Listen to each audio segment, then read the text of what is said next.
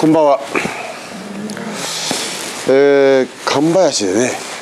こういうあの、なんていうんですかね、集まりができたっていうのは、なんか久しぶりですかね。ねえ、大さん。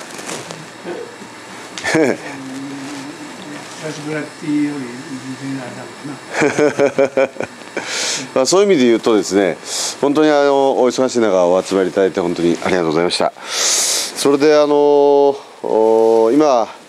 あ新井さんからもお話ありましたけれども情勢は、まあ、今言われた通りの情勢で、まあ、前回もあの6人の定数のところに7人が出て、えー、257票というギリギリのところでなんとか勝ち抜いたって厳しい選挙だったもんですから今回は横並びになってるっていうだけでもなんかね、えー、まあ本当によくここまで皆さんにね支えてもらってね、ここまで来てるなと思います。だって、ね、国政のあの支持率見たらねとてもあの 太刀打ちできるような支持率じゃないですよね社民党の支持率なんていうのはね。それがここまで来てるもんですからこれはねもう勝つしかない本当に勝つしかないんですよ。あの私今いろんなところでお話はさせてもらってますからいますけれどもあの神林のことで言うとやっぱりあの地域今日お集まりの皆さんと一緒にこの神林という地域をどういう地域にしていくのかというやっぱりあの夢というか希望というかそれをできるだけ共有化したいというふうに私は思います。で長久寺の住職はあの同級生っていうかねクラス違うんですが一緒の学年なんですけれども、まあ、住職の方がよっぽど交渉の話はしますので私は下世話の話で いきますけれどもあの今働く人のですね3分の1が、まあ、あのパートだとかアルバイトだとか、まあ、派遣だとか契約だとかっていうねあのそういう働き方になってるんですけれどもあの若い人の中でも20代から35歳の中で言ってもね半分くらいしか正社員になれないっていうのは今の社会でこれはあの人事ではなくて、えー、多分自分の子供あるいは孫だって3分の1はあの非正規労働者ですからそこに行くことは十分考えられるわけです。もうで一旦そこへ入っちゃうとなかなかこの正社員になっていく道っていうのがないのが現状でしてで例えばあの子どもの貧困っていう問題がこれから大きな課題になるんですがあの結婚して子供を作ってそしてたまたま不幸にして離婚して一人親の世帯になってしまったとなるとですね実は2人に1人が年収200万の世界なんですよ。子供育てながら年収200万の世界で朝から晩まで3つもパート掛け持ちしてもあの200万つまりあの結婚した時あるいは子供できた時に会社やあの女の方会社辞める人が大体半分会社辞めちゃうんですけれどもそうするとね一旦正社員から辞めた次の仕事を見つけようと思ってもなかなかこの正社員の仕事っていうのはないのが日本の実情なんですね。これで私もさらに調べてみました長野県の中で小中学生で就学援助つまりあの生活保護世帯か生活保護に準じた世帯で PTA 会費だとか修学旅行の積立金だとか PTA の会費だとかそういうのを納められない世帯が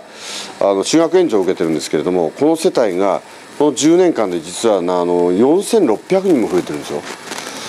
あの10年前はクラス30人のクラスで言えば7%でしたから2人くらいですけど今はあの長野県全体の平均で10%ですから3人に増えてます。でなおかつ松本市は15%で4.5人っていうのが平均的な数字です。ですから昔はねみんな貧乏だったですからね。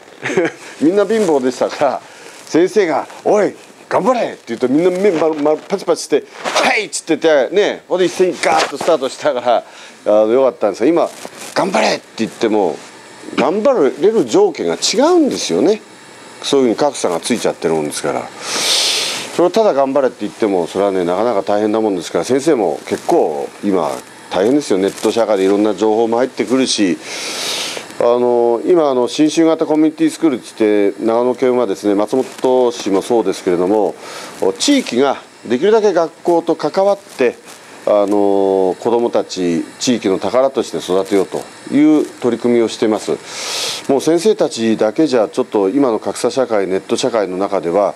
あなかなか全部のことを解決できる状況にはないっていうことで、まあ、そんな取り組みもしています。で私はあの一貫してというかあのなんとか働く人たちがあの幸せになれる社会を作ろうということで、まあ、社会党今社民党に入っているわけですけれどもあのまあこうやって歩いててですねうん例えばえー、最低賃金今長野県は728円なんですよね。728円。でこれ2000時間働いてもね150万にならないんですよね。で仮にそれを1000円にしたって200万でしょ。でいやそれはあのいくらなんでもこの少しでも最低賃金上げようっていうふうに言ってもかといって中小零細企業のところに行くと「いや中川さん悪いけどうちにはそんな体力がない」って言うんですよね。でよくよく話聞いてみればやっぱりその一部の大企業ですねアベノミクスで儲かったりしてるところはどっかの話としてあるんですけれどもそういうところの元請けから下請け孫請けになってくると例えばこの部品の納品をしているこの間聞いたのは笹川であの携帯電話の部品を納めてるって会社がありましたけれども元の会社から納品単価を7割にしてくれ5割にしてくれって切り下げられてて。まあ、結局そういうことで大企業っていうのはまあ儲かってんじゃねえかっていうふうに思わざるを得ないんですがでギリギリのところでやってるもんですからちょっとこの1,000円なんかできないよって言われちゃうんですよね。でだだけどよく考えてみるとあのアベノミクスってやつは円安株高誘導してそして大企業一部の輸出関連の大企業は大儲けさせて安倍総理大臣そこ行ってですよいや賃金上げてくださいって言ってるわけですよね。でも日本日本の労働者の7割は中小零細企業で働いてるもんですからよっぽど中小零細企業を支援してそこで働いてる皆さんの生活を支えるっていうふうにした方がよっぽどあの経済効果はあるっていうふうに思うんです。で私は1期4年間の中でやってきたことは建設産業で働く皆さんのなんとかうんいいなんとかしなきゃいけないと思ってやってきたのはちょっと理由があってですね実はあのオリンピック長野オリンピック前夜の1997年くらいはですね、えー、一番ピークであの日当でも1万7000円くらい平均的に建設現場では払われてました。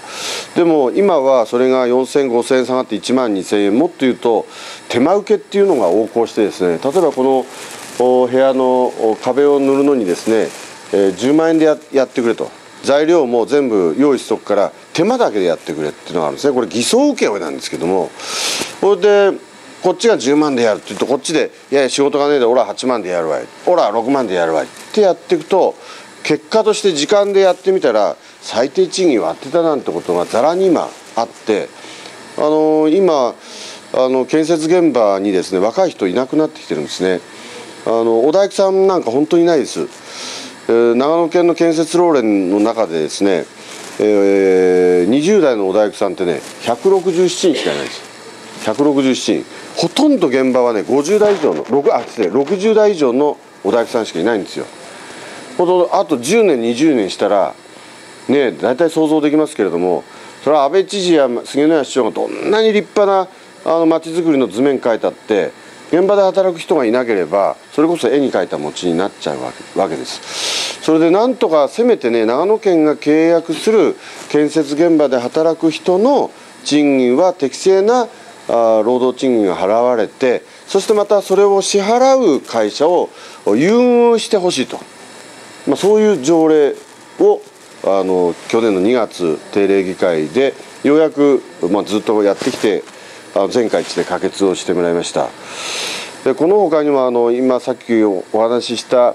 うん、じゃあ子育て支援の貧困の家庭がそういうふうに広がっている中で子育て支援をどうするかという問題があります。で長野県は今年からあの3番目の子どもからね保育園の保育料無料にしたんですがあの松本市これも調べて調べたんですが生活保護世帯は保育料は無料です。で非課税世帯は月4500円です。それから均等割だけを納めてる家庭は月に9000円の保育料を納めてるんですよね。ででも非課税世帯でも4500円納めてる。均等割でも9000円納めてるって結構大変でしてせめてねあの安倍知事は何でもあの日本一のなんとかっていうのを好きなもんですから日本一子育てしやすい県にするって言ってるんですけどそういうんだったらねせめてそこまでね保育料の無料化を拡大してほしいということを提言をしていきたいというふうに思いますし先ほどから言ってるように最低賃金を上げていく。それから同じ仕事していて同じ職場で働いてるならやっぱり同じ賃金を出すということをですねやっぱやっていかないといやいくらなんでもね若い人たちにね夢や希望を持ってくれたとか政治に期待してくれてたってさっきの話であの維新の党の百瀬さんがその若い人たちから期待されるというのが俺は分からないわけじゃないんですよ。やっぱり既成政党が今までの政治が言った俺たちに何してくれたんだと、まあ、こういう思いがあるもんですから多分そういうところへその流れていくんだというふうに思います。それはやっぱりあ私たちのね責任だなというふうに思います。力不足であの小泉構造改革アベノミクスで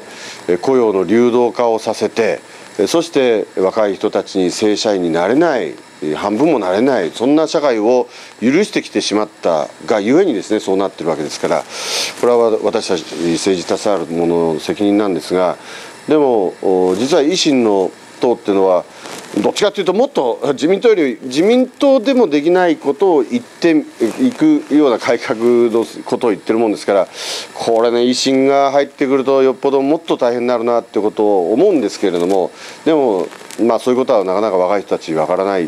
もんですからこれなかなか難しい選挙なんですね厳しい選あそうあの厳しい選挙なんですそういう意味で激戦なんですね激戦になるんだというふうに思います。で私はあのなんとかあのそういう若い人たちにも夢や希望を持っていただける政治に変えていかなきゃいけないっていうのがまず一つです。それから